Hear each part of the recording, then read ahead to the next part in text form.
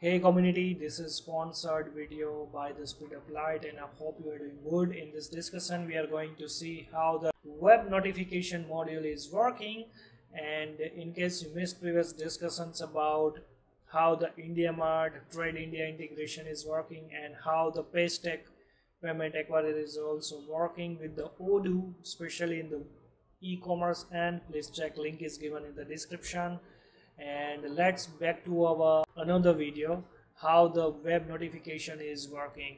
So let's say once you install this module this dynamic notification for internal users right? So here you will get like two type of notifications. The first one is the temporary notification and another is the horizontal notification. So how it is working? Let's see this feature so for that like i already installed this module and uh, here you can see like once you have the access rights for this web notification then you can see this menu. It is working with the enterprise as well as the community version. So right now i'm using the community version. So here let's say let's say i will try to add here one pop-up notification to the specific user. So for that like let's say here i'm trying to add here the subject name. Let's say urgent let's go out for tea right? And here let's say there is a one configuration is there all or among. So here like let's say i will try to notify to the specific people right? The myself then after one is the Joel and another is the Mark demo right. All these three users will notify or let's say only the demo and admin user. Right. And here there is a two things is that the red notification you want to display or the yellow. Right. And here there is a temporary notification you want to display or the permanent. Right. So let's say check about the temporary at the moment and the red color. Save. And after that like let's say there is a three stages is there the draft? In the draft you cannot do anything. Like let's say i just created and i want to use this notification in the future so i'm trying to add here like this. Then after let's say in progress right? So i'm i'm just trying to just select from the directly the stat and you can see here submit button is available right? I already opened the new profile here in the new screen. So let me update like this where the minimize right?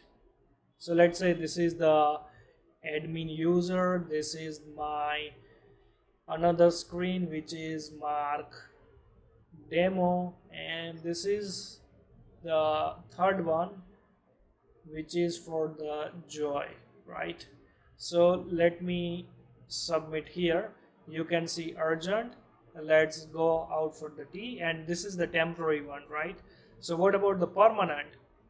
So permanent once you click here and click to submit right now this pop-up screen will not automatically close until unless I will close this button or refresh the screen. But let's say if I will switch to the contact screen and open any of the I'm doing something else right? It won't be closed automatically. All right until unless I will close or I will refresh the screen. So let's say I just finish this one I don't want to do further so I will update as a finish stage. And then after this functionality is not working let's say I want to again uh, do some stuff right? I want to send the message. So I, again I will try to do like in the in progress and right now I will add this joy also right? And once you click you can see here the different people receive the same notification. So let's say if I will try to add the yellow you can see like this way.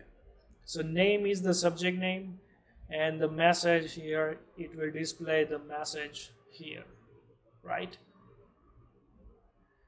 After that the horizontal notification right? So that is also very good one like let's say there is a new breaking news type is here. Then after let's say i'm trying to add here the specific message. Or let's say all users so I don't, we don't need to select any of the users. So it will display all the users. The background color let's say I want to add the red. The font color let's say font color is the white. Font size let's say I want to display as a 20 like moving text uh, you want to add the animation right? The horizontal it will moving the text. By default it's yes.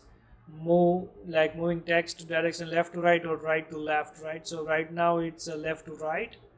And what is the expiration date? So basically the default is the one day right?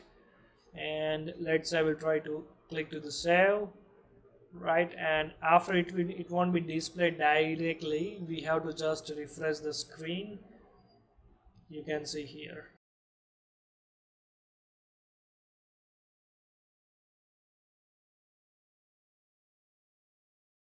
You can see like this way right? Now let's say I want to change the font color as a 10 sorry the size as a 10 I don't want to move the text right and let's I will save. And now you can see like let's I will try to refresh the screen. And now you can see here it's display left to right. You can see. Let's say I want to display right to left. And refresh the screen. You can say it will display like this. And for example let's say I don't want to see the notification you can simple close. And once you go to here anywhere in this views right it won't be display until unless you will refresh the screen. After it will again display.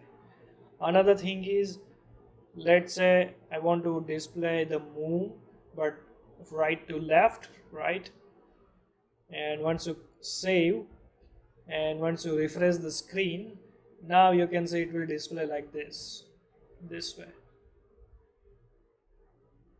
So this is the feature here. Like it will again work in the in progress state. For example let's say I want to finish this one right? Then after like let's say once you refresh the screen it won't be display anymore and for more information you can just visit this web notification module from the odoo app store. I already given this link in the description. Please check that link also. All right?